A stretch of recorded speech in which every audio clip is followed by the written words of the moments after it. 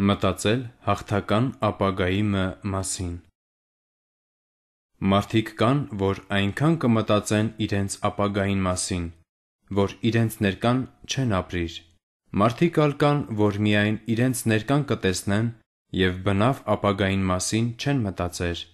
Երկուքն ալ սխալ են: Հավատացյալ մարդը հաղթական ապագայի մը մասին պետք է մտածե,